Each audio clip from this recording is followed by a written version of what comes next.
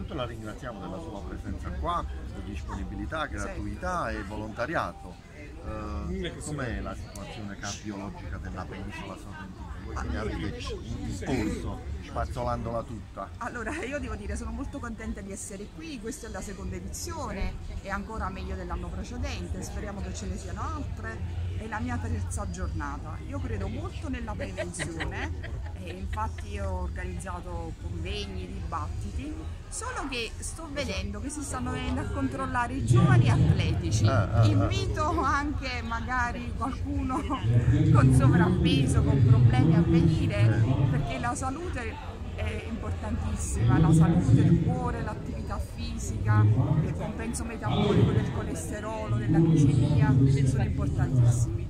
Quindi eh, prometto il mio impegno per questo, ho in mente un bellissimo, bellissimo, anche un bellissimo progetto di solidarietà per il comune che speriamo parta al più presto, perché credo che questo è il tempo che riusciamo a dedicare in queste giornate sia poco, ce ne voglia tanto altro. Ricordiamo che la dottoressa Maria Laura Caggione è anche impegnata nel sociale, tant'è che abbiamo un appuntamento per vedere gli piace la letteratura, gli piace conoscere la gente. Mi piace tutto, mi piace tutto in questo Sotto periodo, l'aspetto la, la cultura, antropologico, la sotto cultura l'aspetto salutare. a 360 gradi, la cultura, la solidarietà, la cultura di 360 gradi. Quindi eh, ribadisco, oltre al mio impegno che sarà costante per la cittadinanza e per la, per la popolazione, c'è anche questo invito per il 3 novembre abbiamo 3 maggio. eh, 3 novembre 3 maggio. 3 maggio. sono andato un po' troppo avanti Per uno, una finestra di letteratura presenteremo un libro a Meta nella casa no no a Villa no a, a